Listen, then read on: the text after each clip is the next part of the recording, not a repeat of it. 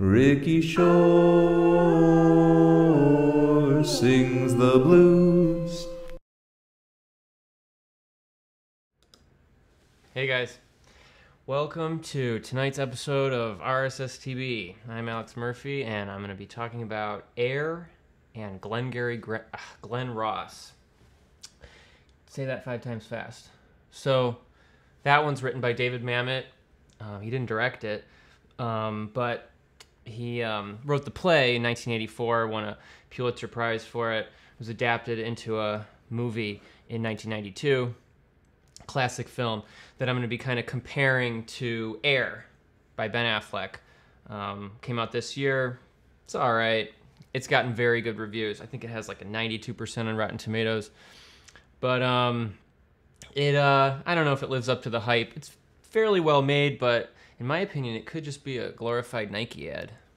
Anyway, so they're both about business people making hard decisions, and um, I'm gonna kind of get into that. All right, let's um, let me look at. Uh, let me start with Air. So, takes place in 1984. Uh, opening credits are like this montage of you know 80s stuff, and there's a colorful soundtrack. It's kind of something that you look forward to in the film. It's like the parts where the Matt Damon's character will be driving to and from places, and you'll hear some like Wang Chung or something. I don't know if it's that, but you'll get like this whole 80s thing. And um, so it takes place at uh, Nike, where this guy Sonny, played by Matt Damon, is trying to get the his boss, played by Ben Affleck, to recognize Michael Jordan as this amazing talent. They're gonna he wants to give all of they're gonna divide their advertising money amongst four athletes, but he wants to endorse Jordan with like the full budget. And so he's got to like try to get this thing approved. Now, we all know what happens that Nike signs Jordan and Air Jordans become ubiquitous, but like so what's the point of the film?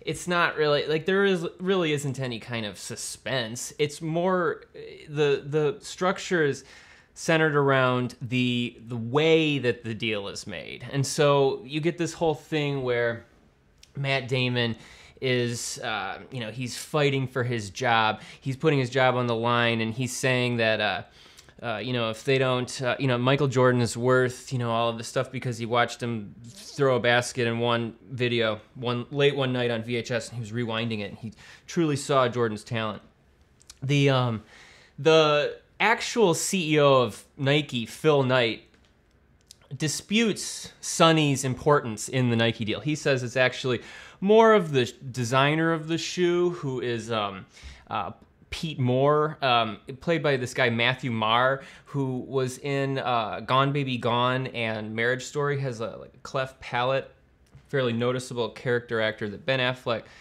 gave a start to sort of at least gave a lot of recognition to with Gone Baby Gone. So it's kind of interesting to see this guy play a significant role in Air. And uh, and then also supposedly Rob Strasser, played by Jason Bateman, uh, was also the, one of the MVPs in the Nike deal. Bateman's great in the role as usual. Bateman's always watchable. I'm a big fan of Ozark.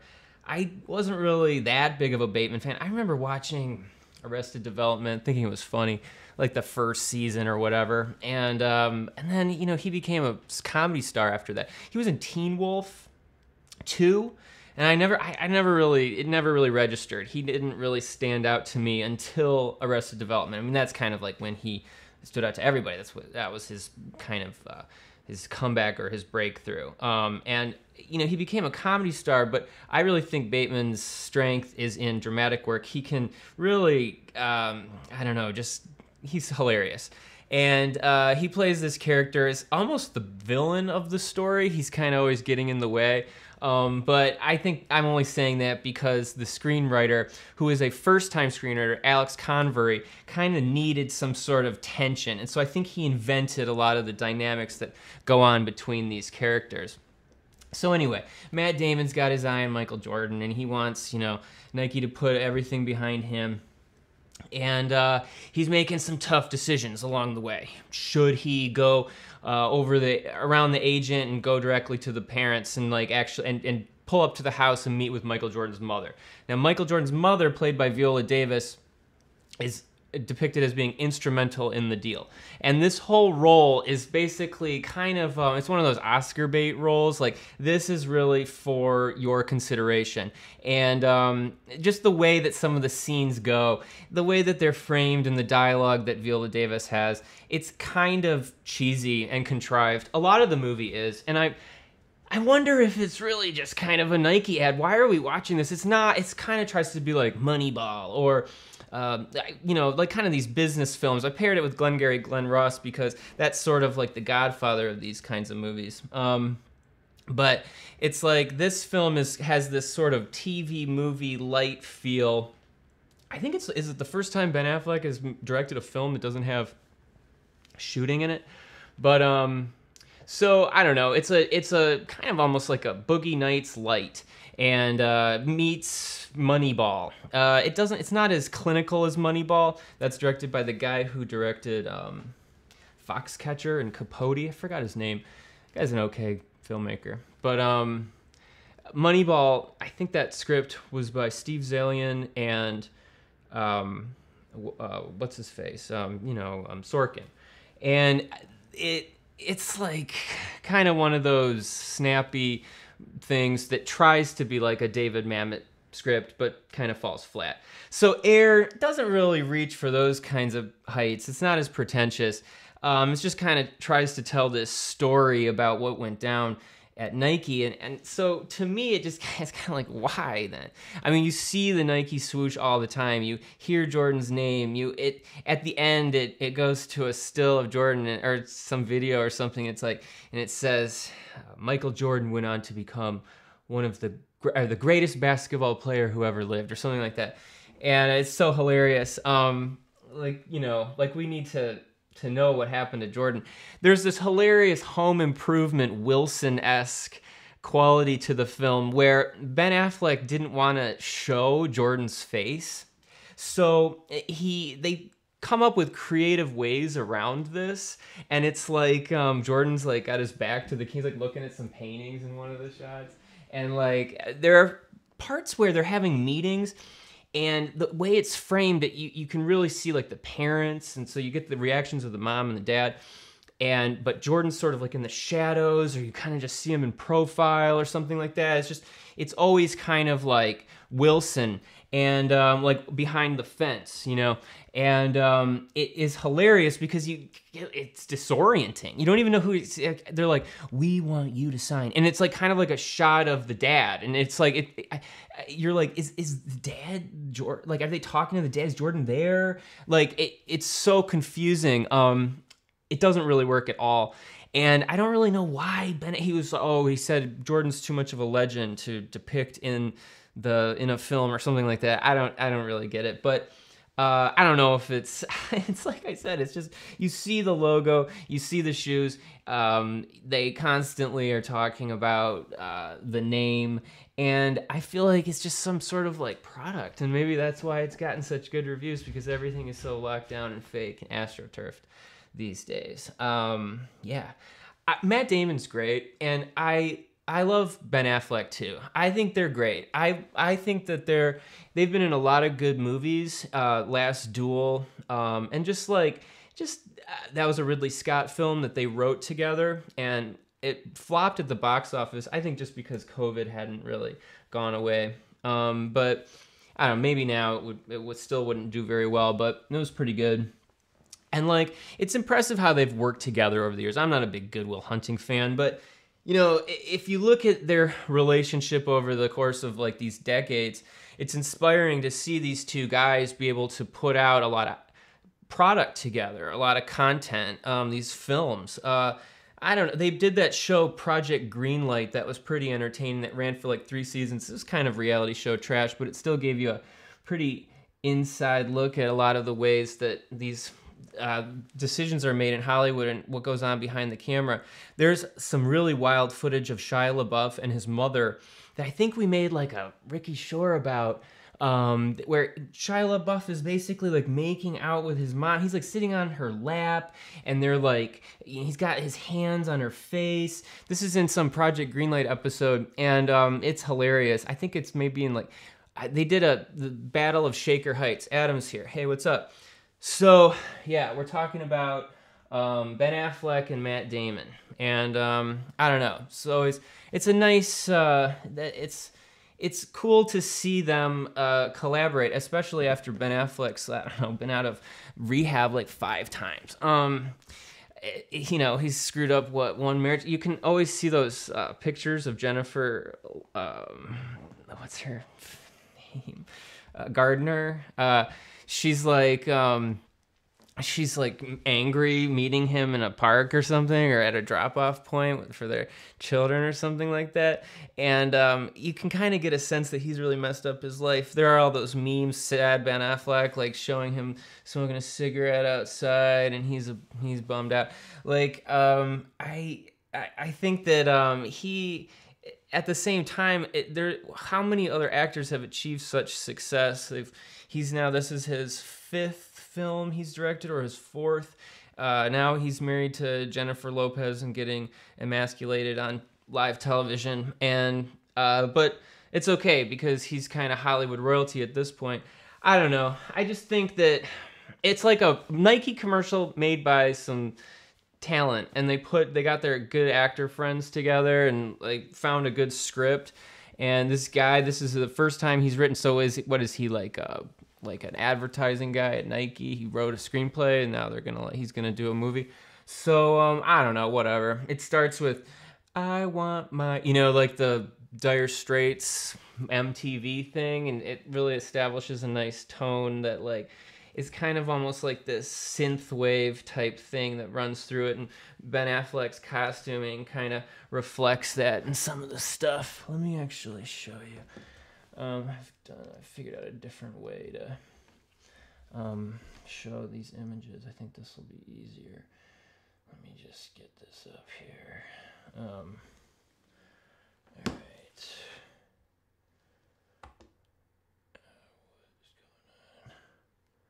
Huh.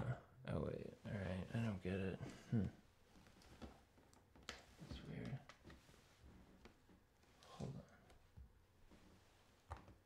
Okay. There we go. So I don't have him in his uh, workout clothes, but here's Ben Affleck as Phil Knight. Yes, the uh, kind of I don't give a shit owner, uh, CEO of Nike, and um, you know this is Matt Damon. This is uh, what's his face is the Jordan's dickhead agent. This is Bateman, and uh, yeah, this is like one of the many tender scenes between Damon and Viola Davis that is meant to be shown at an Oscar uh, ceremony. Um, yeah, I mean, you know, it it it's not touching. It doesn't really like move me at all. It's just kind of like um, whatever. Uh, you know, it's I suppose it's solid entertainment, and there are worse things that you could watch. But I really do kind of feel like it's just kind of a Nike commercial. Let me think. I got like some more stuff here.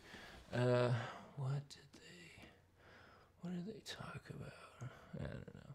It's like they really go out of their way to show that um, Adidas, because they're in a kind of a bidding war with Adidas and Converse, so they really go out of their way to show that Adidas is like Nazi Germany. There's like these scenes where it's played for laughs, where the you know the um, executives are speaking in German to each other in front of the Jordans, and like it's supposed to be like really like um, uh, you know. Um, just disparaging to Adidas and like Converse um is shown as being really out of touch and like these just real geeky CEO guys who are just um you know uh, not really saying the right things.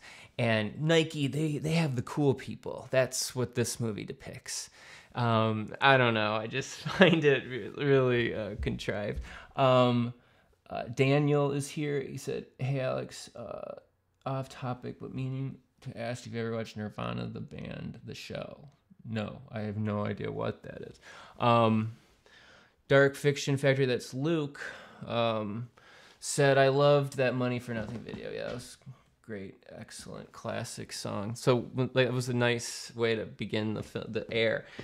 Ben Affleck has fairly good taste when he puts together a movie. He's a decent filmmaker. I've always thought his films were fairly watchable, except for what was that last one? Something night or whatever. Um, it was a gangster film t- during Prohibition. It was not good, and um, uh, yeah.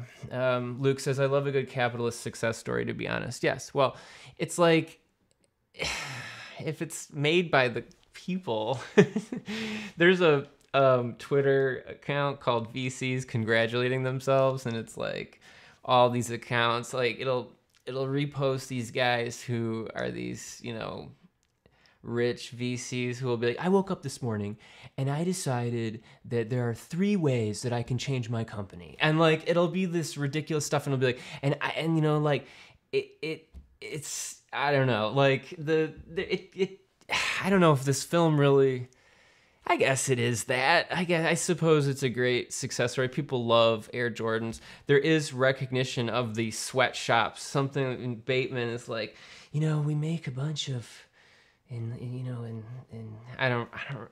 Uh, I forgot what he says specifically, um, which countries, but he he mentions the um, sweatshops and how he should feel ambivalent about it, but he doesn't, and or something. I don't know. Um, so there's like this moment where you're kind of asked as an audience member to forgive Nike for the sweatshops and just kind of like get behind this all American story. And okay, fine. I I it's entertaining, like I said, but it has to be a Nike ad. What else is it? It has it's you see it all the time the, throughout the whole film. What why? It, it has to be that. That's what this is. It isn't it made for Amazon. It's a Nike ad. It's just some sort of Nike ad. I I don't know. Maybe I'm wrong. Maybe I'm wrong. Ben Affleck made there were like documents revealed that released that showed that Ben Affleck made um Argo at the behest of the CIA or something like that. Like they were involved in the pre-production, which um, uh, a friend of mine, Joseph, who might be watching. I don't know. I was talking to him before the show. He was he's sometimes in, in in the chat. He talks about how you know like these intelligence agencies are constantly interfering with these films, and it's that's true. They collaborate so closely. So what is the point of this Nike film? Like it's just I don't know. It's crazy to me. I guess it's entertaining. Like I said, they got the two of the most likable dudes, these bros who can like really know how to work together. Um, I don't know. Whatever. I I like these guys. I I used to hate Matt Damon. I thought he was annoying. I thought the Team America stuff was funny. But then I just watched him in a million movies. I mean, how can you not like him? Like Departed and all the Ridley Scott things, and well, I don't know all of them. I, I know of two of them, but I don't know. He turns in like reliable performances, and I just like it's uh, yeah, he's always fun to watch. And Ben Affleck has a nice screen presence too, and he knows how to put together a film. So I, I suppose I recommend Air, but I think it's kind of light as air, and I don't know. I mean, it's a Nike ad, whatever. It's just some sort of Hollywood thing. It's not really, it's not really quite. Legit. It's not that legitimate. It's just kind of like a like a TV movie or something. It's kind of kind of bad, I think. Um, I don't know. It's weird. It's uh, the second time I watched it. I actually enjoyed it more than I did when I watched it in the theater. So I just finished watching it today, and some of the performances they made me laugh, like um, uh, Chris Messina as David Falk, the Jordan's abrasive agent, is funny in a lot of scenes, and there's some good stuff between him and Damon, some good interplay where you know they're busting each other's balls. Like it's funny in a lot of places. It has a lively script, and you know yeah, written by the, you know, some Nike executive. Um, all right. There's this scene with Marlon Wayans where it's like it's like the, it's treated as a, a pivotal moment in the film and it's shot a little bit differently. What, what Affleck does in some of the scenes where there's like tension between two guys is he'll kind of switch up from the mounted camera work to more of a handheld intimate camera work where he's kind of like you know in like the by their ear or something.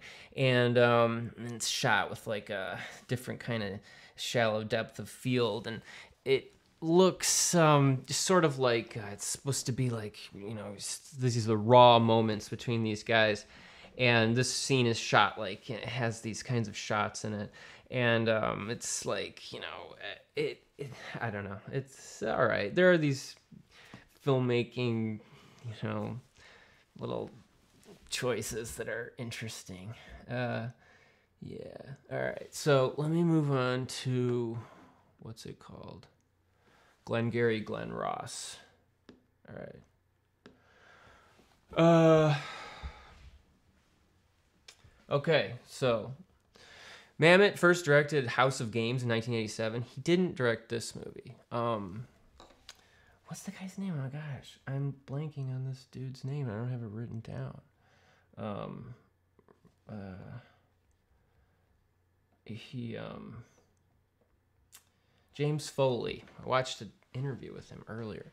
Um, he uh, went on to direct Fear with Mark Wahlberg. He directed the um, Fifty Shades of Grey sequels. So I don't know. You can imagine why I might not have his name at the top of my mind. Um, but uh, he he directed an episode of Twin Peaks. So he kind of like had this early credibility because he came off of that and then directed Glengarry Glen Ross for David Mamet and used David Mamet's um, regular DP, um, which is kind of interesting. Um, Juan Ruiz Anchia. So this guy shot most of Mamet's movies, starting with uh, House of Games. It looks like he worked with him up until Mamet stopped losing or started, uh, you know, uh, falling out of favor with the studios. He doesn't make any films anymore. Uh, I don't know if he's been doing stuff on uh, in in the theater, but um, he used to be fairly prolific. And then after 2008, Red Belt, I don't think he has made a feature film. He had a TV series, but uh, I've never seen that. I think it's called The Unit, or maybe I'm wrong. Um, but um, yeah, so. Um, the film is this classic play that's this you know story of these salesmen and um, david mamet he wrote the he adapted his own play into uh, a screenplay and added this character that's played by alec baldwin who comes to visit this group of slovenly salesmen at night when it's during a rainstorm and he gives them this uh, rousing monologue. And um, he's talking about uh, you know you need brass balls and there's this shot. I got this stuff um, uh, let me uh, pull it up here um, yeah so uh, you know there are all these classic lines from this monologue that alec baldwin gives such as always be closing um, let me find this Oh.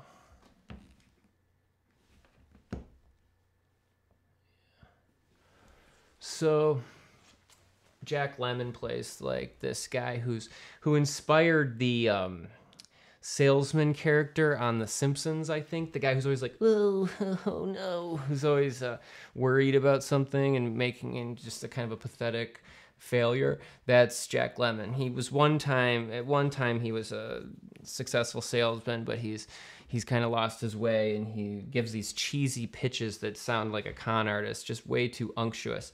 And he is kind of seen as like the old, the old way, the guy who's on his way out. The other salesmen all kind of represent a different type of guy. Um, um, Ed Harris, rather than well, so during this monologue that Alec Baldwin gives, he talks about how you know he's got the new leads, the Glengarry leads. This is the Glengarry development that is very nice property that um, you know uh, is easy to sell, and they have certain people who are interested in this stuff. These guys have had these stale leads for a while and have been working these kind of customers who don't really want to buy anything they just want to talk to a salesman. So they're kind of toiling away for nothing these guys in this office and being told that they're losers by alec baldwin.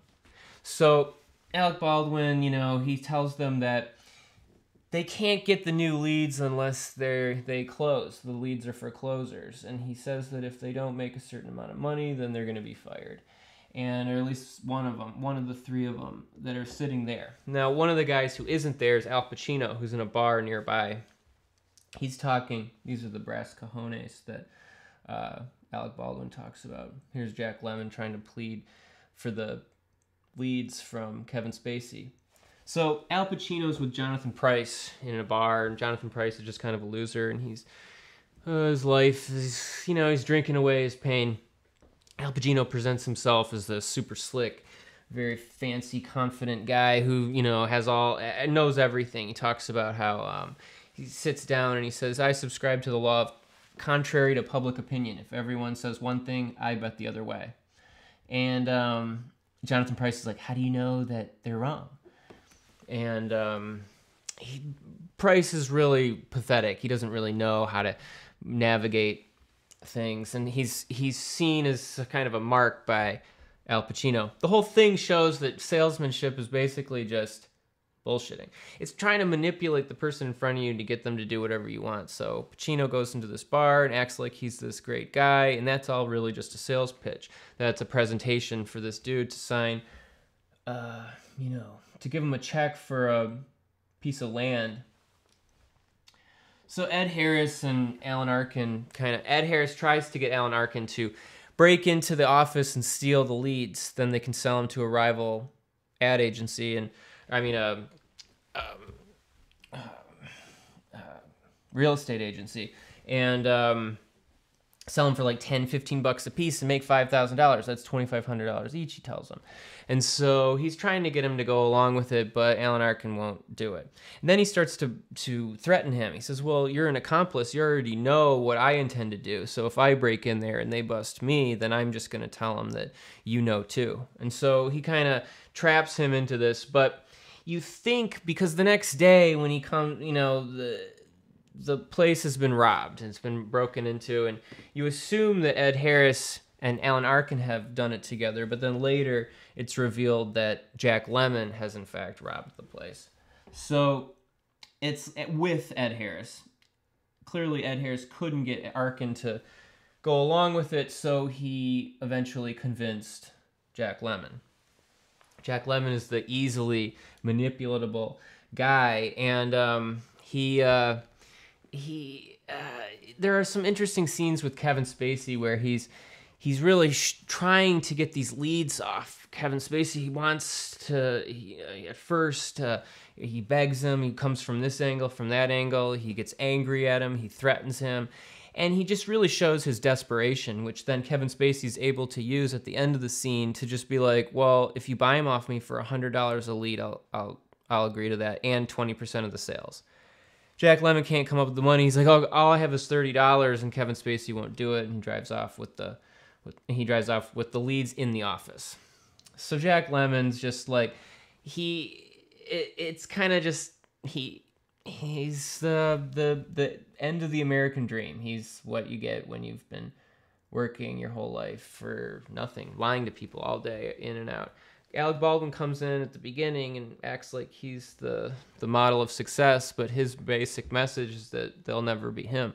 So these guys are really just kind of locked in place, serving their you know version of the American dream, but it's really not you know getting them anywhere. Yeah. So I don't know what else. Uh, Ed Harris, he right off the bat when um after Alec Baldwin gives them this speech about how they're going to be fired if they don't close a bunch of deals in the next 24 hours. Ed Harris and Alan Arkin immediately just go out to eat and smoke cigarettes and drink coffee together and complain. So that's the kind of guy he is. And like they all represent different types of salesmen, and basically all of them are totally full of shit. Kevin Spacey's more of like uh, a secretary, as Jack Lemmon describes him. He looks at him, he's like, "What the fuck are you?" Because uh, he's kind of just the guy who works for the the the big guys downtown. This is just a small office of these kind of loser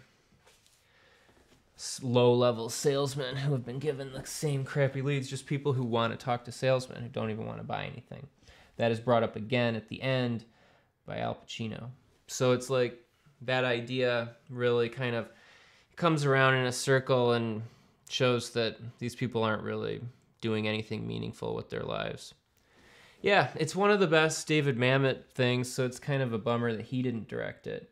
But um, I enjoyed. I've I've enjoyed most of David Mamet's films. It's a shame that he doesn't get funding anymore. I think his political like, beliefs are unpopular with people, but in the past that didn't seem to hold him back as much as it maybe does now. Maybe he's just gotten older and he's less relevant. His last film was Phil Spector for HBO with I believe Al Pacino, right, as Phil Spector. Um, yeah, it was okay. He's always entertaining. Um, Red Belt's like kind of a modern samurai story about a martial arts expert. Um, it's a good film, and um, yeah, he's made some good action films. He wrote, didn't he write Ronin for John Frankenheimer? Or maybe I'm totally wrong. Yeah. Uh, he Glengarry Glen Ross was one of his first films, and uh, I mean his first plays, and um, it uh, it's still today probably one of his most famous. Um, yeah, I don't know. What else? They're selling land. It's kind of like everyone. It's something that everyone's supposed to have a piece of, and this is like this basically money. It's value. Like what is land? So they're kind of like just kind of moving money around, moving around decimal points for someone serving these contracts that kind of don't really go anywhere. Uh, it's very bleak films, like uh, depressing. It's not like Air. It's not fun. Uh, it's a very smoky film about guys who are in very bad places in their lives. Um, yeah, it's but it's a great film. Uh, I would say it's um, highly watchable, especially for being based on a play. Sometimes those films can be a little bit difficult because they're more based around dialogue, and if you're not that into the characters, it can test your patience a little bit. But this film really goes along, and it kind of it came around. It came about because uh, James Foley, the director, he knew Al Pacino, and he wanted they had wanted to work. They wanted to work together for a while, and he brought him that play and he was like, Do you want to do this? Pacino had wanted to be in the play, but he was doing American Buffalo, a different David Mamet play at the time. So Pacino, of course, jumped at the chance to do the film and they collaborated on this thing with, you know, a great cast. Supposedly, a lot of really famous actors read for it. That's what Jack Lemmon says. And it was something that people were very interested in. Kevin Spacey was was very early in his career. Uh, I believe Usual Suspects was like 94, 95. Um, this was one of the first films that he's really um, kind of showcased. Um, what else? Yeah. Um, I don't know. All right. I don't know. That's really all I've got. I know these segments used to last a little bit longer, but it's like just me talking. So how long can I really talk about these movies? I don't want to be that boring. I know these podcasts go really in depth and they'll like break down everything, but I don't know. Do you do you love that? I I kind of want to just give you a sense of what the movie is. I think that is kind of interesting. I don't know. Maybe I need to reevaluate how I do this and come up with more because I don't know. I thought I had a lot here, but it's oh, I've only talk, been talking for like half an hour. I guess I haven't talked about everything, but it's like if I were to get into all of my all of my notes, like this would be so boring. All right, just like it is right now. Well, I've got a lot of news for you. So, and I know that's why everyone's here because no one probably has even seen these films. Maybe you guys have. It sounds like um uh yeah. Um All right. What am I doing here? Oh, let me find um, I saw Super Mario. I took my son to see Super Mario Brothers the other day. Wow. I mean, I wasn't um, very into it, but I it for while, we had a whole the whole road to ourselves. So for a minute, I was just kind of like on my phone. But um, I have to say that that is one of the most impressive looking animated films I've ever seen. The lighting is really nice. That thing, it looks great. I think Puss in Boots looks good. I like that kind of painted style that they they uh, took from Into the Spider Verse. Um, I take my kids to see a lot of things, and so you know, animation doesn't always impress me, but Super Mario Brothers looks really good, and uh, yeah, I think that it's making an insane amount of money. I can understand why people are feeling like they're getting everything that they uh, want out of it. It's real fan service. I played the game when I was a kid, so I can kind of remember punching the things and getting the mushrooms, but you know, it's been a long time since then. Uh, it's a little chaotic, um, but like, uh, yeah, I don't know. And it's it's those illumination films are the quality is not quite up there, but I think all these kids movies are pretty bad. They're I don't know, just not very good. Um, Adam says you get me interested in movies I probably wouldn't go watch otherwise. Awesome. I'm gonna try. Well, I tr- that's what I try to do with choosing the films. It's like there's a new film that I just has like some interesting context around it, maybe that I would like to go into, and then I kind of want to try to point you guys toward like good films. And at first, when we were doing this, um, we were kind of just sharing ideas back and forth, and so some of the films were more of like the a collaboration. Now I think they're just gonna kind of be like a lot of just my favorite films or something like that. I don't know, unless it's not like these are all my favorite films, but they're films that stick out to me in some way. Um, like I talked about Shape of Things. I'm not really into that film. I've seen it maybe three times. Um, but it's it's always stuck with me. And Neil LaBute is an interesting filmmaker, so that's why I chose that for that show. And I don't know for the next show. Well, I'll announce that later. I've got the graphic all ready for you. Um, okay, so you know what? I don't even know if I want to talk about this. All right, let's talk about it.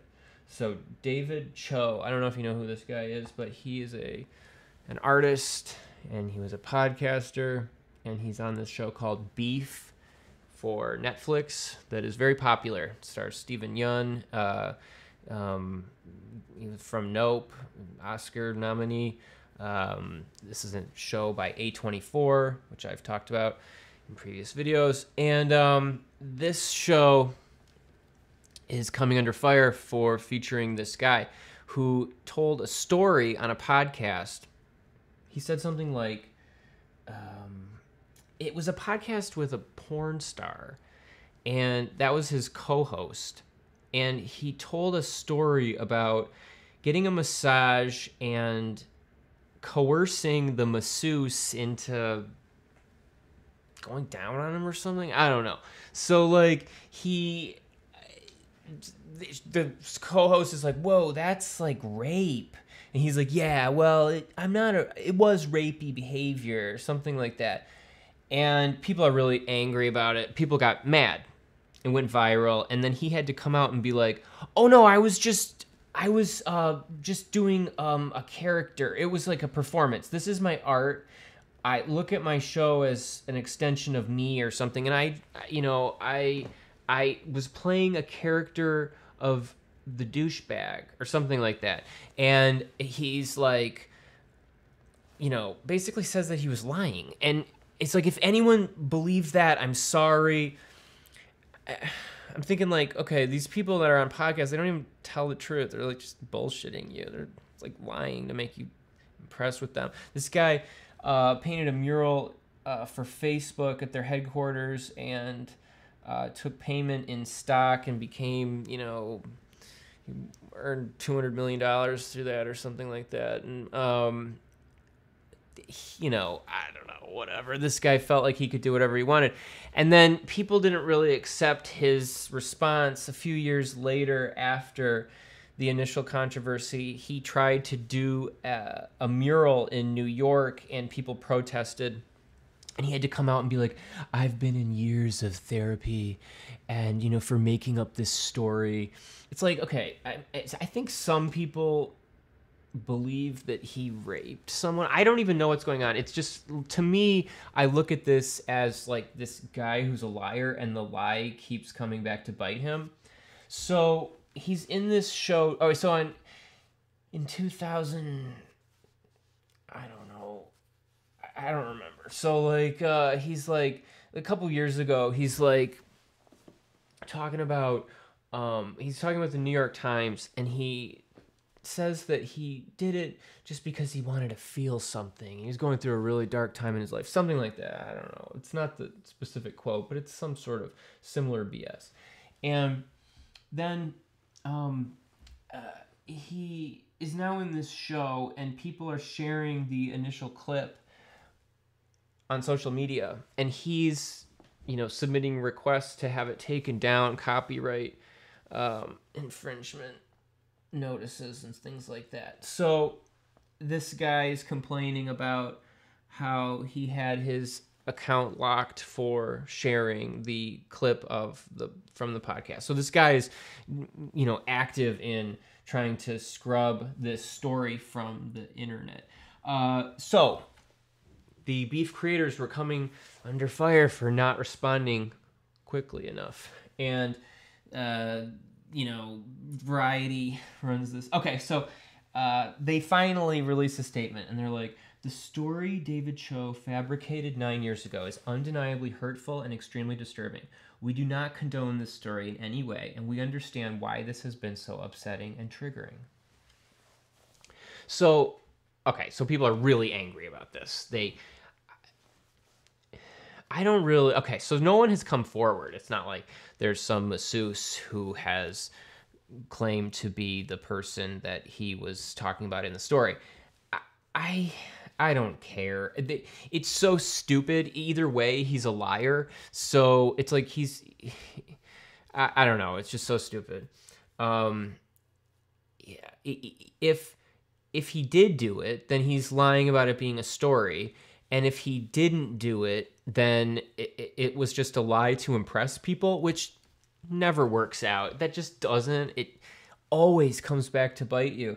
Um, well, at least most of the time. Sometimes people get away with it if they're just lying to people they don't really know. But then when they, you know, are on a national scale and they, you know, lie, then it can just really do major damage to your career. So this guy, I don't think the intention was to have this thing come back and destroy his career time and time again. I think he just really wanted to make people think that he was a cool badass who like raped his masseuse. And that was right before Me Too, so he could like still do that. And he was on this podcast that he thought was really like raunchy, and he probably had a boring life and wanted to, um, I don't know, compete with the the chick who's on the show.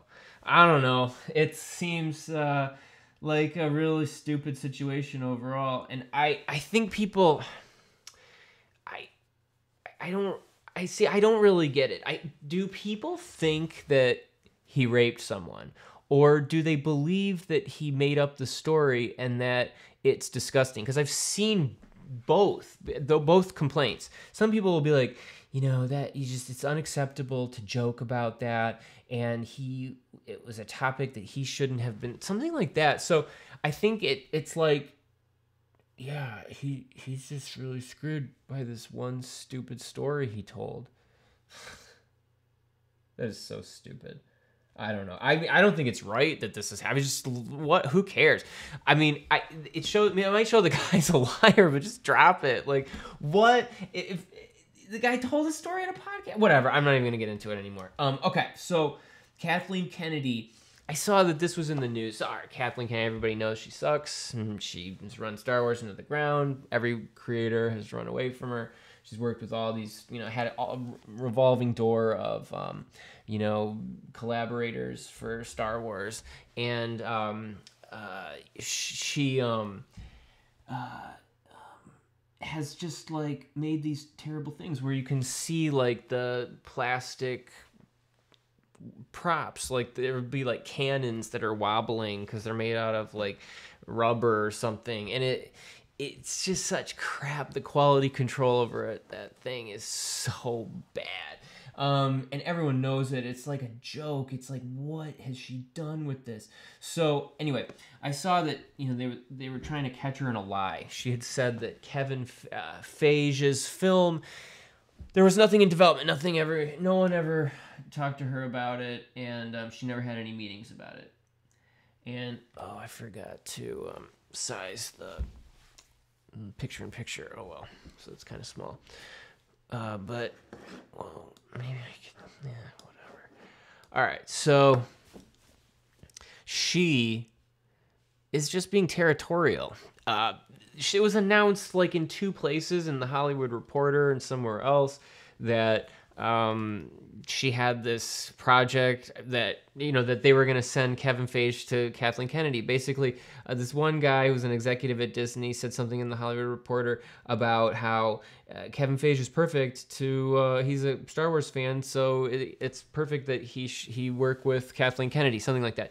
And then this article by Bounding into Comics, which I think is kind of a cheesy media site, they try to drum up these quotes from Michael Waldron, a writer who was working with Kevin Feige on developing the idea. And he says that, you know, they had done work. So this site is like, okay, see? So um, there was a movie in development, Kathleen Kennedy. Like, and Michael Waldron says, you know, and it's it it's been great working with Kevin, and I look forward to working with Kathleen Kennedy.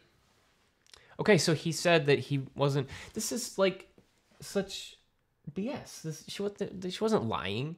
She was um, trying to say only I get to greenlight the Star Wars films. Only I get to decide what films go into development, and I don't want to meet with Kevin Feige. Maybe Kevin Feige never reached out to her. Maybe Disney wanted her to meet with them. I don't really know what happened, but um, it's just funny because they're. It's it's just like it's just Hollywood business here. Uh, she, you know, it's been rumored that she's on her way out because Bob Iger has taken over as CEO of Disney. Uh, they took it away from the last guy for making too many bad movies, and he has, you know, cut some fat. He got rid of Victoria Alonso at Marvel, I think. I don't know, whatever. These shakeups happen after someone new comes in. You got to think that that person has put pressure on these studios. I mean, Marvel and Lucasfilm, they work independently from Disney, but at the same time, Disney has a lot of influence over these companies because they distribute the films.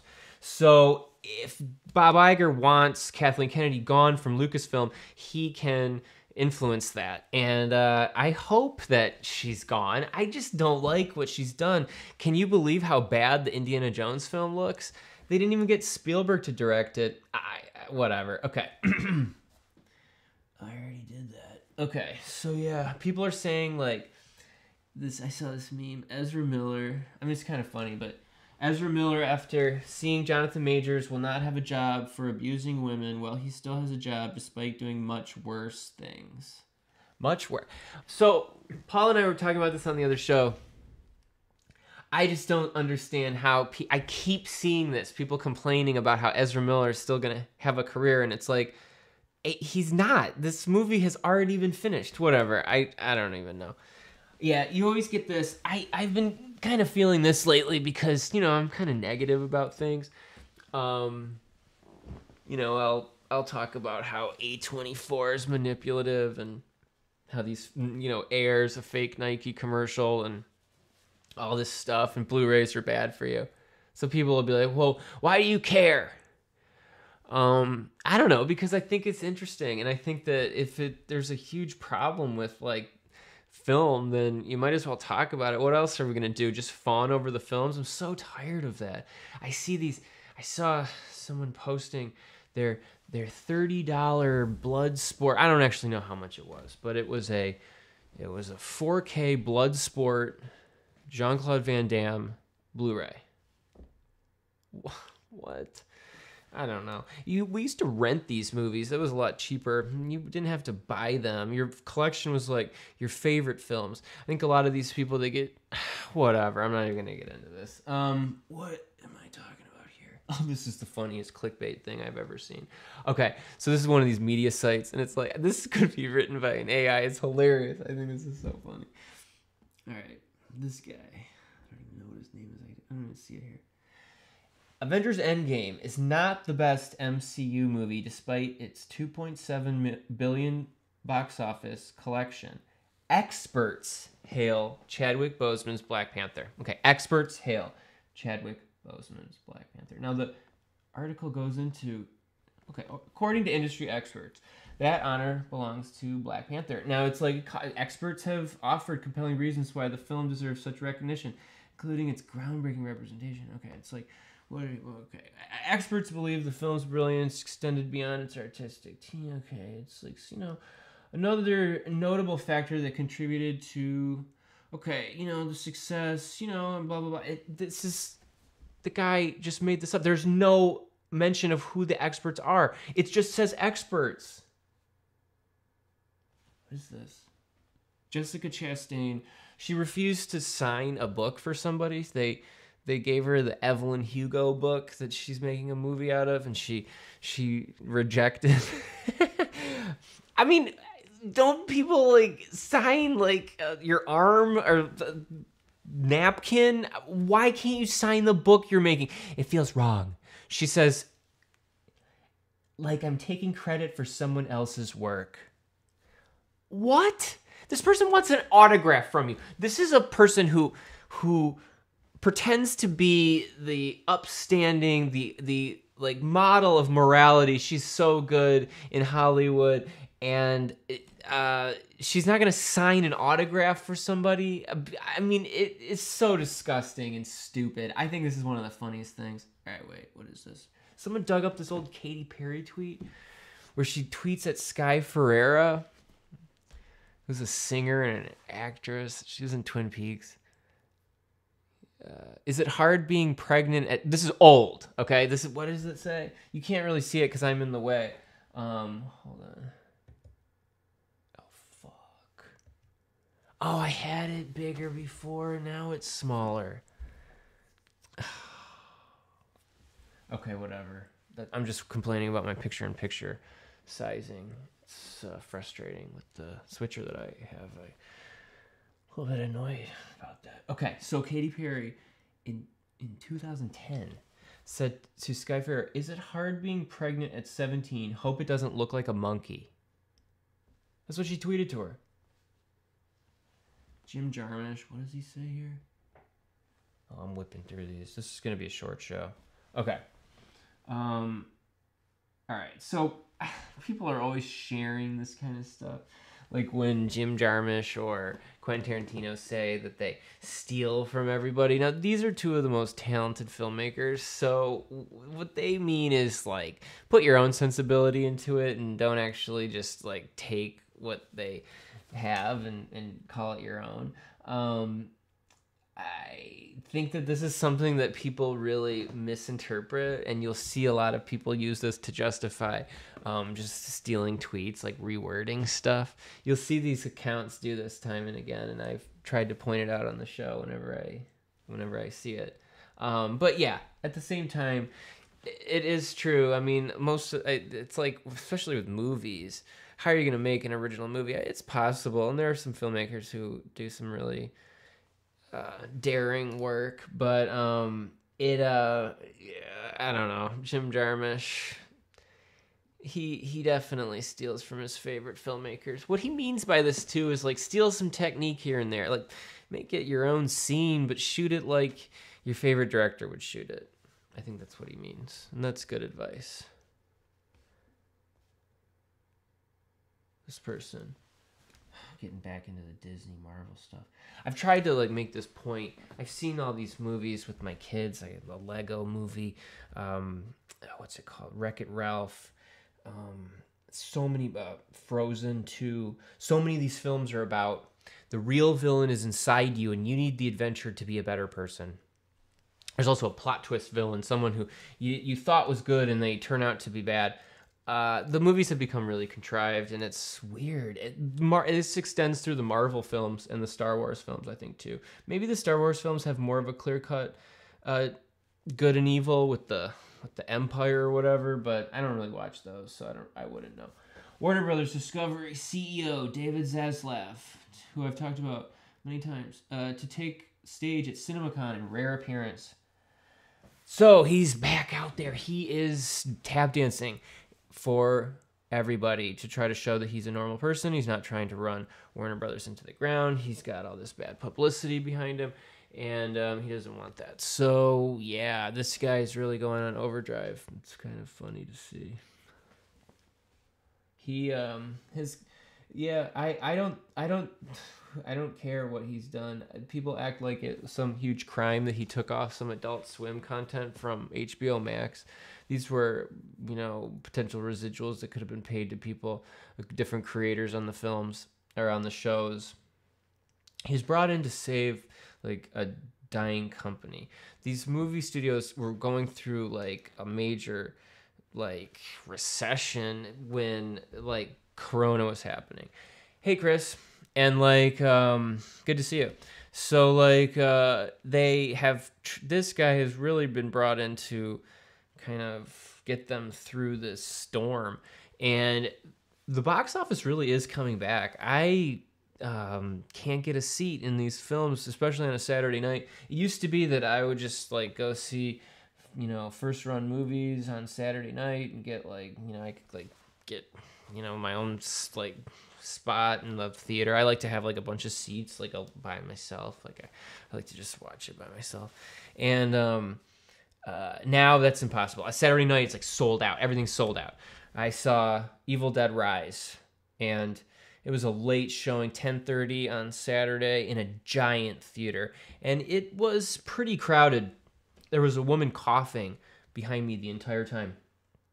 She's like, it was like uh, she was a few rows behind me, and every minute, every every two minutes, it was literally that that often, and I was going crazy. It got it it it lessened a little bit in the second half, so I was able to concentrate. But it was one of the most miserable experiences of my life. I couldn't believe it. This woman coughed the entire film. Would you ever go to a film if you had a bad cough?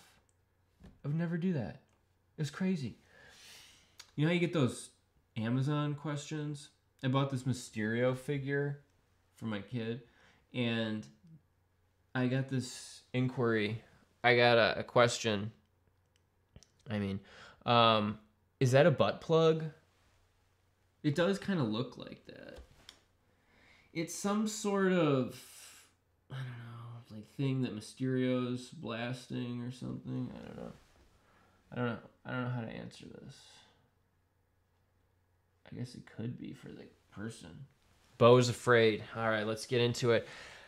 It's a controversial topic because people seem to care very deeply about A24 and the way that the company um, really milks the market for all it's worth. They sell these overpriced clothing, and every film you have to like, like it's some sort of Criterion collection edition, and you're like, what? I mean, these are this is just a studio. Like, why are you? what?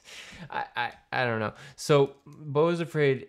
There's like a whole like rabid fan base around this film before they've seen it on Twitter. It's really weird. I kind of got caught up in the middle of it because I commented on a, a tweet that was like kind of going viral with like, um, and and people were a lot of Beau is Afraid fans or Ari Aster fans were flooding this tweet's comment section. So I was like getting into these debates, and um, it's like the, it's just really bizarre that that you could be a fan of a movie studio. I just, I mean, I was a fan of Troma because it was like a small independent film studio.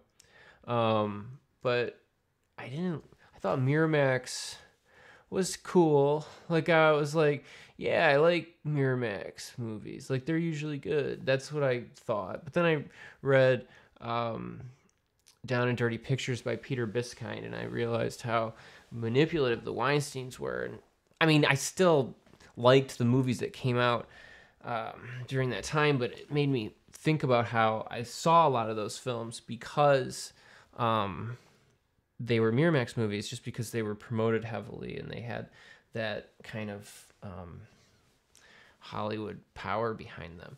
Uh, A24 is just kind of the new Miramax. Uh, Ari Aster, they've given $35 million to make his passion project. People think it's beautiful. It's $35 million. Midsommar and Hereditary both cost around like 9 million bucks. I don't know. The film has flopped and it's doing it made four million dollars this weekend. Bros was seen as a humongous financial disaster. This movie was $22 million and opened to $5 million. Um, so people are defending Beau is Afraid. Variety ran a story. Why the new studio math? And the new indie cred won't let Beau is Afraid be a bomb. Now they talk about how there's some sort of new studio math because in the age of streaming, everything's different. And, you know, I don't know. But like, um, yeah.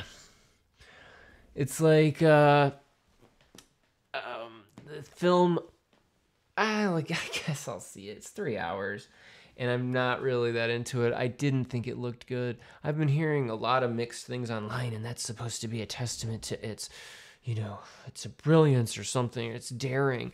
Uh, what's his face? Ari Aster. Um, uh, he said that he's glad that people are split on it and he keeps you know they keep asking him about you know uh, how he feels about the polarizing response and he's acts like that was the intent and so i don't know maybe uh i don't know maybe maybe he'll come back from this but i'm sure he will they're, they're gonna keep giving him money but They'll probably just give him, you know, just as much money for his next movie just to say, fuck you.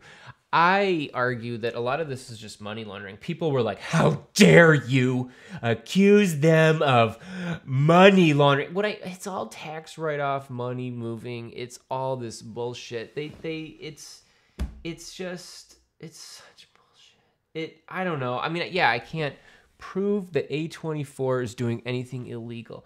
But what it is is like this exorbitant amount of money that is fairly ridiculous. And why would they be just wanting to dump mo- money into a movie that's not going to be uh, financial success? And they talk about, um, uh, well, it's it's building their brand. Okay, so this is a thirty-five million dollar advertisement for A24. So why is A24 trying to make it, it so that they're going to be the gatekeepers of independent film because that's kind of what the end result of this would be. That was like what Miramax became. People dreaded working with Harvey Weinstein because they called him Harvey Scissorhands, and he would make you cut up your movie and re-edit it. And I A24 doesn't do those things because they're just like finance bros, man. They don't care.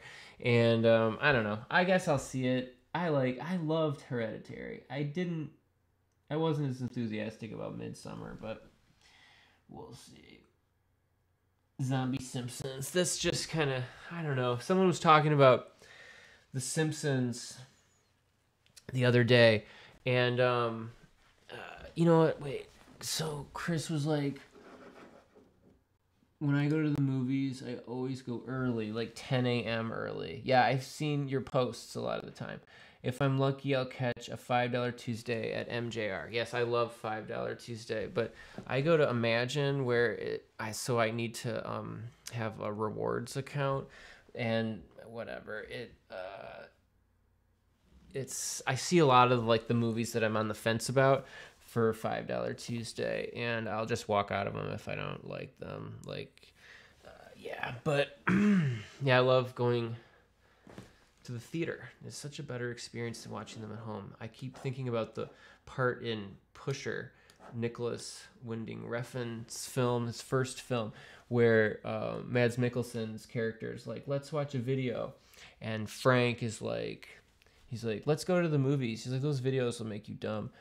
Refn worked at a video store for a while. I think that's in Bleeder. There's a character, it's like part of the plot. It's like takes place at a video store. Um, I do kind of just think that sitting around watching movies is, I don't know, kind of a numbing experience. I've done plenty of it, so I'm not here to preach, but that's one of the reasons why I think that.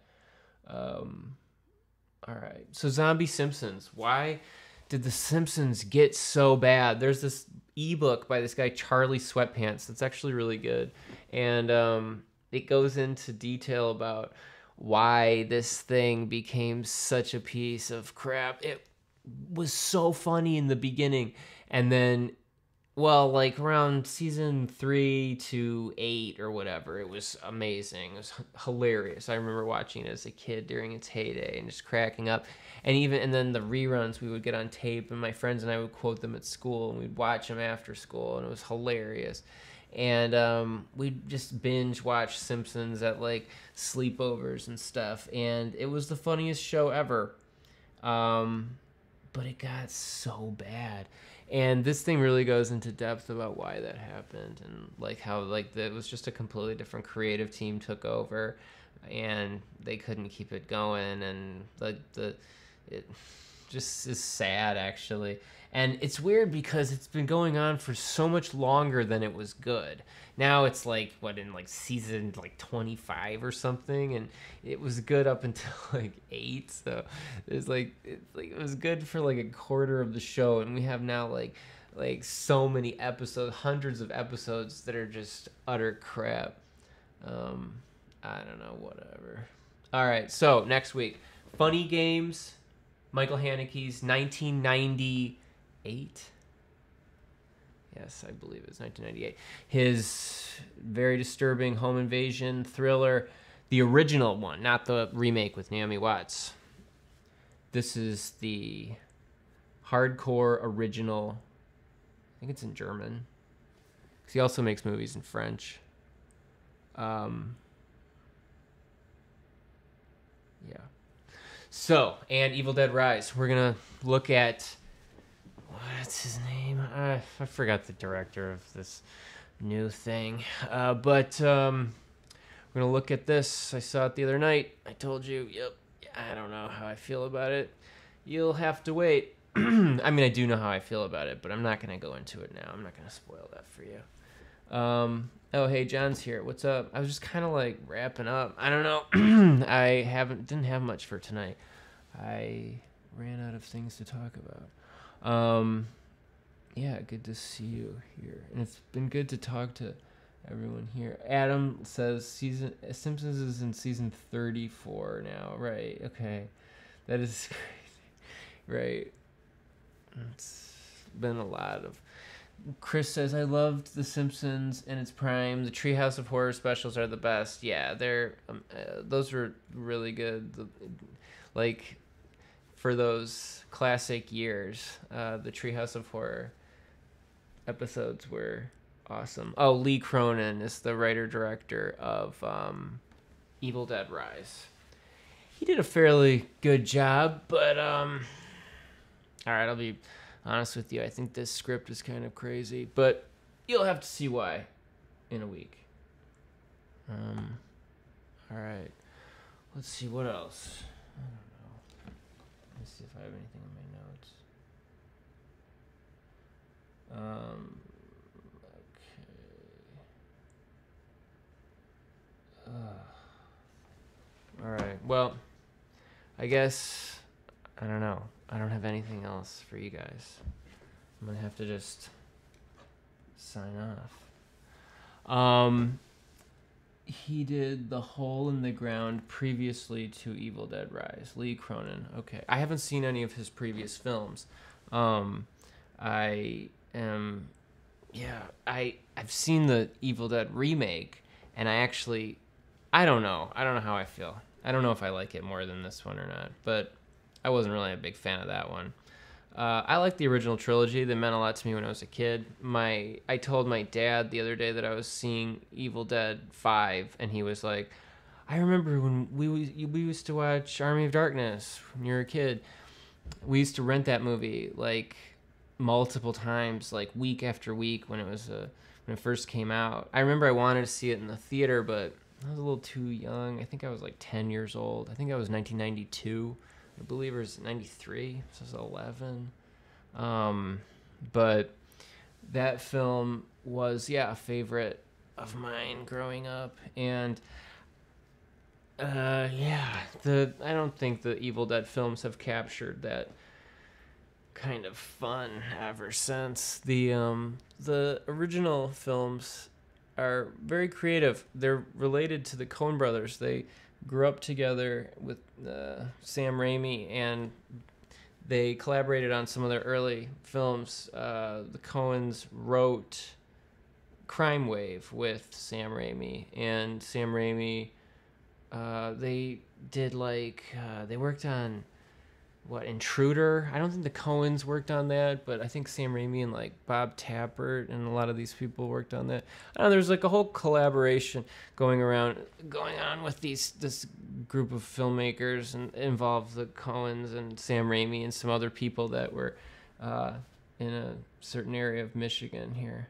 Um, Adam, it's kind of cliche, but have you done a 10 favorite films of all time list? All right, you know what? Here. That's a good. Okay. Adam just saved the show. Let's do it. All right, this is always changing, but um I do keep an IMDb list of my favorite movies. And all right, let's go. This I can't. It's just it's not really my favorite movies. I just really like these movies. Mostly just kind of kind of cheesy movies. Um let's do it. All right. I'll do it up to Oh man. You guys are going to be like shocked by how I rank some of this. All right, let's do it up to All right, let's do it up to like 64. What's 65? Well, 65 is radio days, 66 is wild at heart. I don't even know. This ranking is so stupid. All right, I'm just to like go through some of these really fast, but then others I'll talk about a little bit more depth. Okay. Just movies that I've watched over the last few years that I like. All right. Let me um let me Okay. Oh, I don't think well, whatever. You can see it. All right.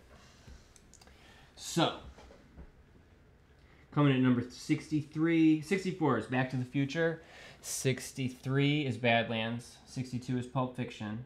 61, Double Indemnity. 60, The Departed. Blue Collar, number 59. That is Paul Schrader's excellent film from 1978 with Richard Pryor and Harvey Keitel and Yaphet Kotto. I've seen this film so many times. I love it. It's probably my favorite Paul Schrader movie. Although maybe Autofocus is on here, or I don't know. We'll see if this is my favorite Paul Schrader movie. But um, yeah, uh, this ranking means absolutely the kind of nothing. I always bounce these around. So like I'll always just like play with the order, and it really doesn't mean much. so Jackie Brown, number 58. I love this film. This is my favorite Tarantino movie. In fact, oh no, never. Okay, number 57. I Eraserhead. I don't even know if I like Eraserhead more than Jackie Brown. See, seeing them ranked like this is so s- kind of stupid, but at the same time, it's fun, and I like rankings now. I used to be really like against it, and I wouldn't rank them, and I would have my top 10 lists on on my blog be in alphabetical order. But now I feel like it's like, who cares? Why not just um, rank the things? Uh, 56 Boogie Nights, which I saw in the theater, and I was really excited for this film. I bought into the hype. Uh, Robert Shaye, who owned New Line Cinema, put a lot of money behind Paul Thomas Anderson in the 90s. They tried to make him like another Tarantino. I meant to talk about him in relation to Glengarry Glen Ross. That was like a movie that was released by New Line Cinema. New Line Cinema's kind of like that in in that form. It's gone. And it's now in its new incarnation. It's a different company. Does Robert Shaye even run it anyway? I don't think he does. Um, but they had a lot of success with Nightmare on Elm Street in 1984 and that franchise, and then they kind of tried to do what Weinstein's were doing with Miramax, and they put money behind Paul Thomas Anderson to make Boogie Nights. And they put a lot of uh, stuff out in the media about how this was like the best screenplay and all this stuff, and it did live up to the hype. That's why they they put a lot of money behind it. That was um, a good film. Rosemary's Baby, number fifty-five. I watch it all the time. All right, so I don't necessarily know if I like Alien Covenant and Prometheus more than Rosemary's Baby, but I knew do know that I like Alien a lot, and I like to group these films in just my own OCD way. So Aliens coming in at number 52 and Prometheus and Alien Covenant. Just this this trilogy of films. I made fun of some guy for talking about the Alien trilogy and it doesn't really make sense because which like grouping are you talking about? But this to me is the uh, real Alien trilogy because they're the films that are directed by Ridley Scott. People hate, they're very split on Prometheus and Alien Covenant. Prometheus at first nobody liked, and it seems like now people like it. But Alien Covenant people are quick to say is bad, and I think they're both awesome. I don't know, I like them a lot. 51 Wet Hot American Summer. I love this movie when I saw it in the theater. It was so funny. I um, went to see it like the next day. Again, I dragged my friend to it. Um, yeah, it was hilarious. I think I might have mentioned that on the show. After Hours, number 50, Scorsese's 1985 film. This is one of the movies I think Harmony Korine says is like one of his favorite films. Um, he uh, uh, talks about this and King of Comedy, Autofocus. So Paul Schrader earns uh, place higher up on the list with this film starring Willem Dafoe and Greg Kinnear.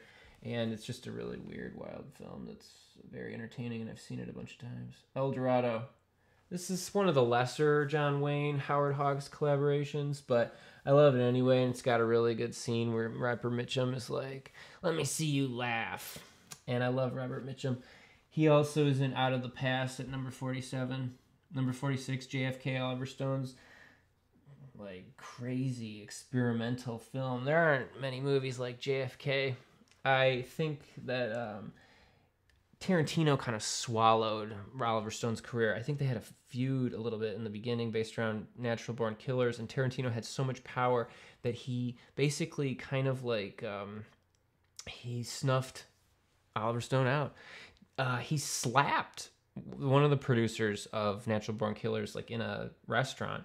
Tarantino did, and then uh, Tarantino worked with Oliver Stone's DP the guy ah, I forgot his name, but um, he's really great, and he shot a lot of great uh, stuff. Looks beautiful. I think he might have shot JFK. Um, I think he did. Let me look here. Um, yes, Robert Richardson, who shot Kill Bill and Glorious Bastards, Once Upon a Time in Hollywood, shot The Aviator for Scorsese, um, Wag the Dog for uh, David Mamet. Um, or was it David Mamet just wrote this? This was for Barry Levinson. Yeah, I'm right. Okay. So uh, yeah, so Robert Richardson's great cinematographer, um, and Tarantino kind of just took him from uh, what's it called? Um, uh, Oliver Stone. And then Oliver Stone, shortly after Tarantino really took off, Oliver Stone's career started to falter. I mean, it's, you know, partly Oliver Stone's fault for you know, I keep saying his full name, whatever, sometimes.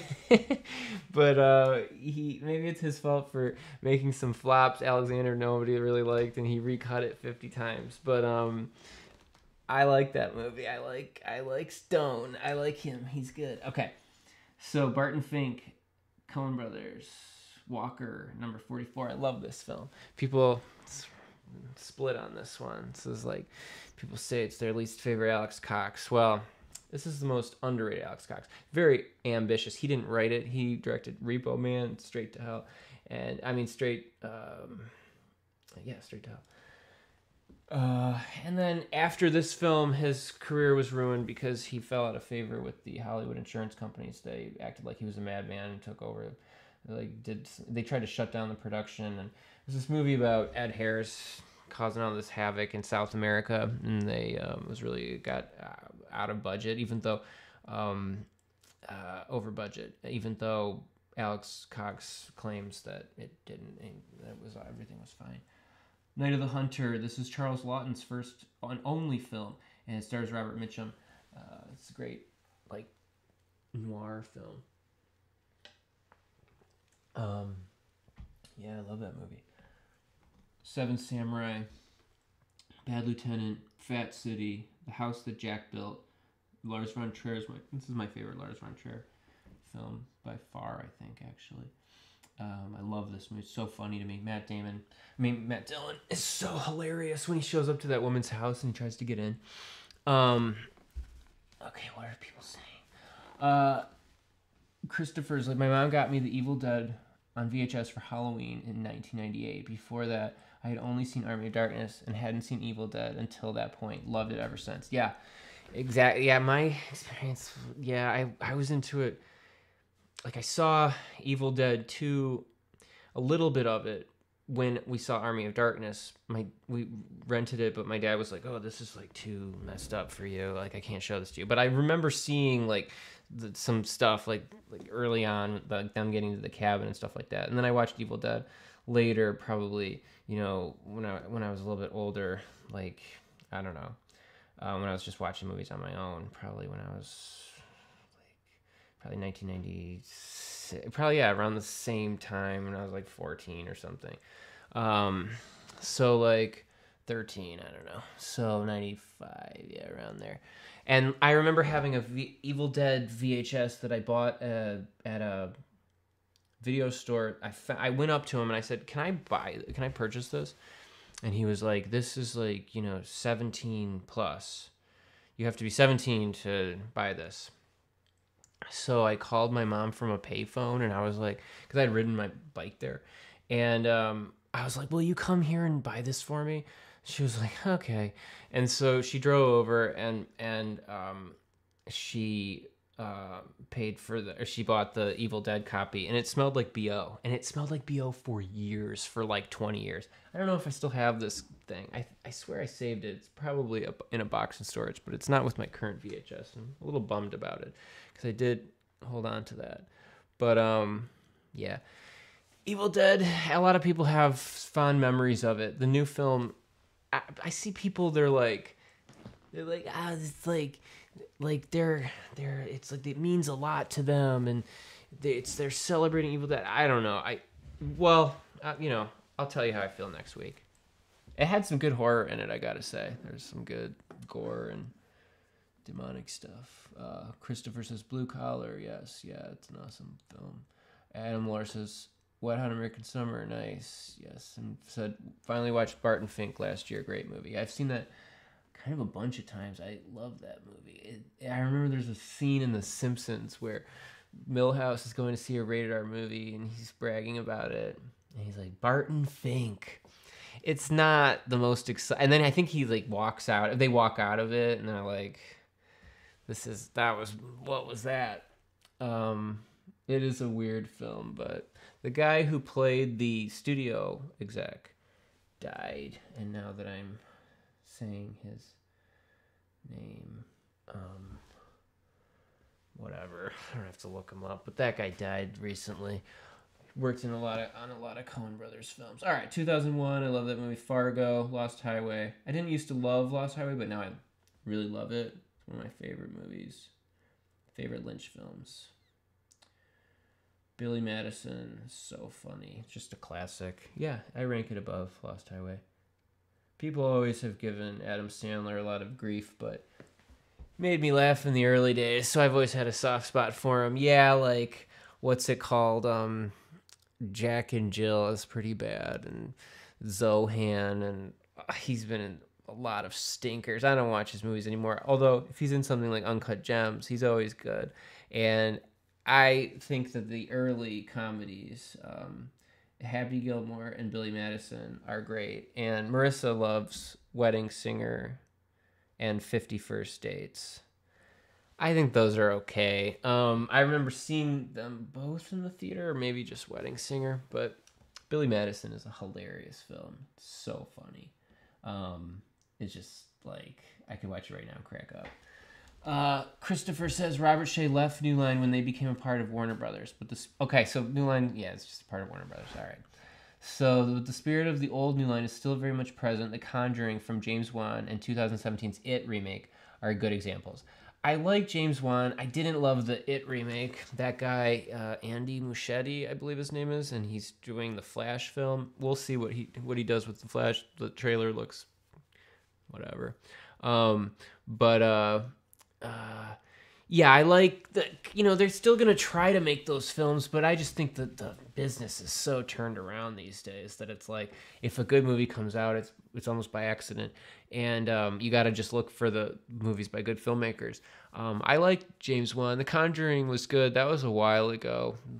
They they're like now on like what the fourth or fifth Conjuring movie, and he only did what the first two or the first one or he's talented. I like him. I didn't love Saw. Didn't he direct the first Saw film? I never liked any of those films, but um, I thought The Conjuring was pretty decent. Uh, Christopher says Bulletproof with Adam Sandler and Damon Wayans is underrated. I saw that in the theater. Yeah, that's a good movie. It's funny. He didn't write that film. He was kind of just in it, so that wasn't like one of his comedies. But um, yeah, I have I had that movie on VHS and I watched it many times with my friends. We loved that movie. Um, Adam says Adam Sandler was the best in his prime, that era, and his early comedy albums. Yes. Now you're reminding me of the comedy albums, which were there was one that was really funny in particular that I remember listening to on like some like you know like uh, like retreat for my class, like camping, like wilderness thing that I went to uh, with my classmates. And I remember a friend of mine who had that CD, and I'm pretty sure it was "They're All Gonna Laugh at You." That is so funny. I can still think about some of those skits and how funny they were. I remember listening to them for the first time and just dying of laughter. Um, uh, it is just hilarious. And yeah he was he's he's great. I don't whatever. People that don't like adam sandler are just like grumps. They're, it's easy. It's easy to hate on him. I mean he has made some horrible movies don't get me wrong. I don't really get it. Maybe he just stopped caring or he started work maybe he gave his friends who weren't that talented like more creative control just because he thought that he was doing the right thing, but really the work suffered. Maybe that happened. I don't know. That I'm just totally speculating on what could have happened with like someone who got really famous. Uh, I just know the early movies he would kind of collaborate with this guy Tim Herlihy, I think his name was, and he was a, a SNL writer. And then they kind of stopped working together. Another funny Adam Sandler movie is an early Judd Apatow movie. He didn't direct it, but he wrote it. Big Daddy, which I saw in the theater, and that is a good film that is um, uh, funny, that is like laugh out loud funny. Um, Adam says they're all gonna laugh at you is the best. Yeah, definitely. And then I remember feeling kind of disappointed, like after they're all gonna laugh at you, like when the next one came out, it was like not as funny, and I was like bummed. Yeah, that was so good. Oh, that was hilarious. There was I, I remember there was like the longest pee skit where he goes in, he's like, oh, I really gotta pee. And then he's like, and he's it's forever. I remember as a boy just cracking up. I think I was on a bus. We were going, it was like a four hour bus ride, and I was listening to this thing and just losing it. And, or the one where, um, he's like, he's like, um, he's like, uh, the, that acid you gave me was really good, man. He's like, oh, that those were just uh, pieces of paper that I ripped up and gave to you and told you were acid. He's like, oh, oh, um, he's like, well, you know, the the weed was like so good, got me so stoned. He's like, those were just pencil shavings. Um, I just he goes through a bunch of things. Um, the severe beating of high school driver. Yes, it's so funny. Um, there what was there were some really good skits on that thing. That was classic. Yeah, Adam Sandler's amazing. He was so funny back in the day. My friend was really into him. He bought that Overboard movie, and he was like watching that thing. but he kind of yeah he did fall off. He just kind of became a rich guy and didn't care and was like just doing goofy movies like i said with his friends. And um they didn't they they weren't like i think maybe billy madison had more of a like the snl in its prime people were involved in that. The writers and the performers norm macdonald's in it uh, chris farley's in it. Uh, billy madison is just so funny all right. I shot Jesse James. That's a good movie. Samuel Samuel Fuller. The Searchers, another good one. That's okay. I don't even know why it was ranked so high. I think just for the some of the iconic shots and some of the John Wayne stuff. Blood Simple. It's one of my favorite Coens. It isn't my favorite, but I love it. I love the dark noir esque Coen films, the noir films. King of Comedy, Scorsese, Eyes Wide Shut, Down by Law, which we covered on the show a couple weeks ago. Unforgiven, Clint Eastwood's best movie, I would say. I think everyone would say that. Prince of the City, that is an awesome film. Um, uh, yeah, it's um, Sidney Pollock and uh, who's in this again? I mean, Sidney Lumet and um, Treat Williams, Jerry Orbach. Oops. Uh, and um, it's like this kind of police corruption movie, and um, it's really exciting. I love it. I love cop movies, and this is one of like the holy grail of cop films. So that's why it's ranked so high. It's just like a. Uh, Sidney Lumet also made Serpico, so he's not a stranger to the cop genre, and this is sort of like the godfather of cop movies. Prince of the City. Buffalo 66, I saw this film in the theater. I've talked about this, talked about Vince Gallo before. I think he's one of the only few original filmmakers. I do think this film's influenced by, you know, a lot of obvious um, filmmakers like David Lynch and John Cassavetes, some other people, a lot of different things. But uh, it's a great film. I remember seeing The Brown Bunny in the theater. The Brown Bunny, a lot of the reaction to that was based on the Cannes cut, and then what came out in the United States was like just sort of like um, reaction to the Cannes response. People just it, it became a meme basically, and they ruined his career. He won't make another movie because of how badly reviewed The Brown Bunny was. He made a movie called Promises Written in Water that he won't release because he it, like he screened it once or twice and he won't release it because he doesn't think that uh, the world deserves to see his work. Robin Hood by Ridley Scott, number 25. I love this film. I've watched this so many times. Every time I watch it, I'm like, all right, I'm not going to like this. I'm like, this is Robin Hood. This is one of the movies that got me like really being like, okay, Ridley Scott is awesome. And um, uh, I love Russell Crowe, first of all. And Cate Blanchett's great. And Max von Sydow is, you know, great. Everyone's great. Uh, Oscar Isaac. It's an awesome film. And um, uh, has some intense battle sequences, Ridley Scott stuff.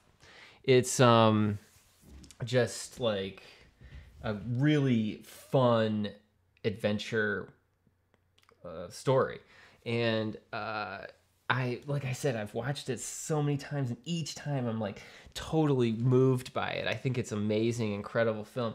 And it got bad reviews. I remember Tarantino put it on his like top ten you know list it was like high up like number two or three or if i can remember correctly um it's just an incredible epic and uh yeah I highly recommend robin hood full metal jacket purple rose of cairo true grit rolling thunder rolling thunder we covered on the show this is an awesome film it's written by paul schrader it's not directed by him but it's just a perfect genre film that I think is like so exciting. I don't know. It's like kind of slow in places, but it's just so good. And Tommy Lee Jones' character is unforgettable, and uh, his performance is really um, amazing. William Devane is great in it too. I highly recommend Rolling Thunder. Wolf of Wall Street. It's like I, one of the best Scorsese films. A, it's a red flag. If someone likes Wolf of Wall Street, that means that they're a jerk. This movie's extremely funny. It's hilarious. It's one of the funniest movies I've ever seen. Uh, but it's also one of the best Scorsese films. It's just a good gangster film. I count it as kind of like one of the Goodfellas casino movies. It's structured very similarly with the narrative, uh, narration, and um, just kind of the way that it takes you through, you know, this all these different time periods. Um, it uh, is. Um, yeah, about I think it's like a, like a movie about organized crime. That's you know, so people can be like, oh, well, Goodfellas is great, but w- Wolf of Wall Street shows this deplorable behavior. I don't, it's the same thing to me. Um, yeah, Christopher says Prince of the City is so great, one of Lumet's best. Yes, definitely it is. I think it's it is his best. Um, he says I'm always down for some Ridley Scott. Yeah, I love Ridley Scott. And the unrated version of Robin Hood is really brutal. Yes, definitely get what if you watch a Ridley Scott film, you have to watch the most extended cut you can find, even if it's a fan cut of Prometheus. No, it's not. Those are not not actually good. You should just watch the deleted scenes because the fan cuts are weird. Um, but yeah, Apocalypse Now. What can I say? It's just a fun film. You gotta watch like the full like five six hour thing. Um, uh, yeah. What is it? It's really only like what four hours or something. Redux. Is that the last one? I don't even know. Rio Bravo. We talked about that. Red River. Love that film. So good. It's just kind of like a fun world. Tokyo Story. High Plains Drifter. Tokyo Story, when I saw this movie, it was just like, just very sad to me. Um, yes, I love it. And you can really kind of see a lot of um, Ozu's influence in um, people like uh, Jim Jarmusch and, um, I don't know, Wes Anderson, High Plains Drifter, Blue Velvet, Mulholland Drive, Chinatown. All right, so we're now getting into the top 10. Are these my favorite movies? I don't know, maybe. Okay. Chinatown, I love Chinatown. It's amazing. It's just so good. I, do, I think I like it more than Mulholland Drive and Blue Velvet.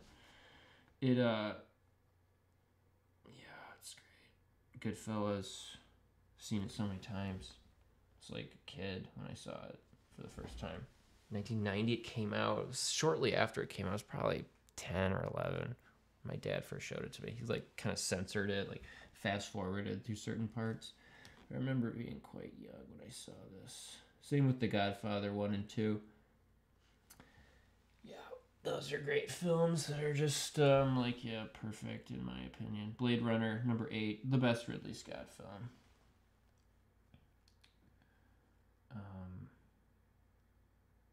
The new Blade Runner is pretty good. I enjoy it. Yes, My Darling Clementine at number seven. I just like Henry Fonda's performance in it. I uh, I don't know. I I uh, I don't really know why it's so high. Um, it is a good movie. Shane is a great film, and I, I get why that's number six. Um, yeah. If you haven't seen Shane, you should check this out. This is a beloved film that a lot of people consider to be one of the greatest westerns of all time. It's based on a novel. Who directed this? I forgot. George Stevens. Treasure of the Sierra Madre, directed by John Huston. I love this film. It's kind of like a weird western. Humphrey Bogart goes off like speculating, looking for gold, and um, it's a great adventure story. I mean, it's not like a traditional adventure, but it's a really fun movie that you can watch over and over again. Um, Repo Man, Peggy Sue got married at number three. That's right. Francis Ford Coppola is in like my top what? I have my top twenty films. He has four movies. It's pretty impressive. I think that Coppola is maybe like the one of the greatest filmmakers of all time, but he fell off, and he made some really weird bad movies. What's up, Drids? What's cooking is I'm just going through an IMDb list of like my favorite movies. Someone asked me in here, Adam asked me if I have a list, and I had run out of things to talk about. So I was just like, all right, let me just go through this IMDb thing that I have for no reason of like my favorite movies. So that's what I'm doing here. Um, even though I don't really even know, like I look at this and I'm like, why are some of these ranked like this? But um, I do love these films. I love Treasure of the Sierra Madre. If you haven't seen this movie, you should see it. Uh, Peggy Sue is awesome. We talked about that. Francis Ford Coppola's best film, in my opinion. It's even better than The Godfather. Uh, the Shining at number two.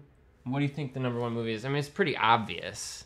If you've watched my thing before, if you've like followed the thing, the whole Ricky Shore experience, then I think the number one movie is pretty obvious.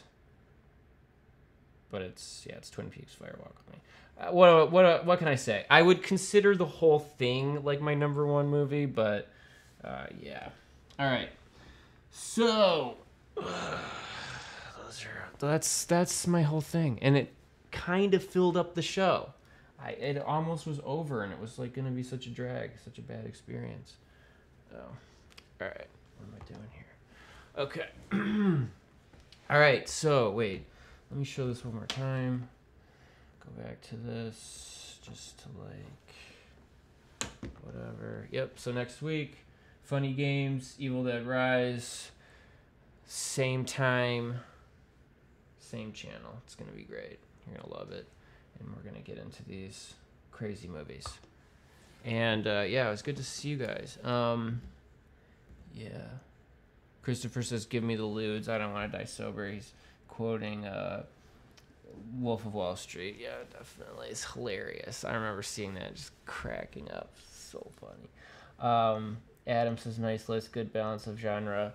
and old and new. Mostly American films. What can I say? I, I if I have like other like I don't really like a lot of like the Bergman films and Fellini and I like mostly American movies and I, I have like a couple um like I have like Akira Kurosawa, Seven Samurai, um, Ozu, Tokyo Story.